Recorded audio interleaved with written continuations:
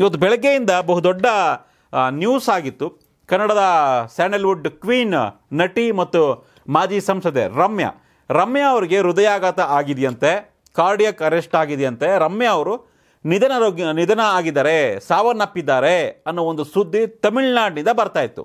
ತಮಿಳ್ನಾಡಿನ ಕೆಲವೊಂದಿಷ್ಟು ಮಾಧ್ಯಮಗಳು ಸುದ್ದಿಯನ್ನು ಪ್ರಕಟ ಮಾಡಿಬಿಟ್ಟು ರಮ್ಯಾ ಮೃತಪಟ್ಟಿದ್ದಾರಂತೆ, ಕಾರ್ಡಿಯಕ್ ಅರೆಸ್ಟಿಂದ ಅಂತ. ನಮಗೆಲ್ಲ ಶಾಕು, ಹೌದಾ?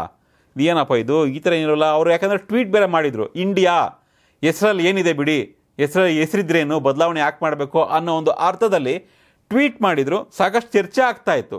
ಇದೇನಪ್ಪ ಇದು, ಟ್ವೀಟ್ ಮಾಡಿ ಇನ್ನೂ ಒಂದು ಹತ್ತು ಗಂಟೆ ಆಗಿಲ್ಲ, ಆಗಲೇ ಈ ಥರ ಸುದ್ದಿ ಬರ್ತಾ ಇದೆ. ಅವ್ರು ಬೇರೆ ಇಂಡಿಯಾದಲ್ಲಿ ಇಲ್ಲ, ಕರ್ನಾಟಕದಲ್ಲೂ ಇಲ್ಲ ವಿದೇಶಿ ಪ್ರವಾಸದಲ್ಲಿದ್ದಾರೆ ಅಂದರೆ ಹೆಚ್ಚು ಹೆಚ್ಚು ಕಮ್ಮಿ ಆಗೋಯ್ತು? ಯಾಕಂದರೆ ಇತ್ತೀಚೆಗಷ್ಟೇ ವಿಜಯ ರಾಘವೇಂದ್ರ ಅವರ ಪತ್ನಿ ವಿದೇಶದಲ್ಲಿ ಕಾರ್ಡೇ ಕರೆಸ್ಟಾಗಿ ಮೃತಪಟ್ಟಿದ್ರು.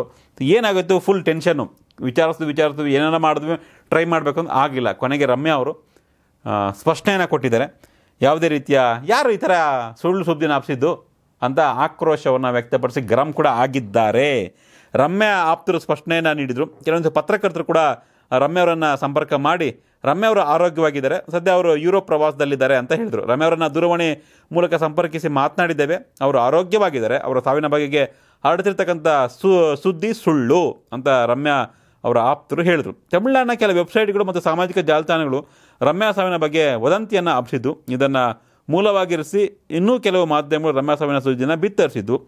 ಸೊ, ಬಳಿಕ ಪತ್ರಕರ್ತೆ ಆಗಿರ್ತಕ್ಕಂಥ ಹಾಗೂ ರಮ್ಯಾ ಸ್ನೇಹಿತೆಯಾಗಿರ್ತಕ್ಕಂಥ ಧನ್ಯ ರಾಜೇಂದ್ರನ್ ಇದ್ರ ಬಗ್ಗೆ ಟ್ವೀಟ್ನಲ್ಲಿ ಸ್ಪಷ್ಟನೆಯನ್ನು ಕೊಟ್ಟರು ರಮ್ಯಾ ಸಾವಿನ ಬಗ್ಗೆ ಸುಳ್ಳು ಹಬ್ಬಿದಾಗ ಆಕೆಗೆ ಕಾಲ್ ಮಾಡಿದೆ. ಆಕೆ ಕ್ಷೇಮವಾಗಿದ್ದಾರೆ. ಗಾಬರಿ ಪಡುವ ಅಗತ್ಯವಿಲ್ಲ ಅಂತ ಹೇಳಿದರು. ಈ ತರಹ ರೂಮರ್ಸ್ ಹಬ್ಬಿಸೋರು ಯಾರು ಅಂತ ರಮ್ಯಾ ಸಿಟ್ಟಾದರು. ಬಳಿಕ ನಾನು ಆರೋಗ್ಯವಾಗಿದ್ದೇನೆ ಅಂತ ತಿಳಿಸಿದರು. ಇನ್ನೇನು ಎರಡು ಮೂರು ದಿನದಲ್ಲಿ ರಮ್ಯಾ ಬೆಂಗಳೂರಿಗೆ ಬರ್ತಾ ಇದ್ದಾರೆ ಅಂತ ಅವರೇ ಮಾಹಿತಿನ ಹಂಚ್ಕೊಂಡಿದ್ದಾರೆ.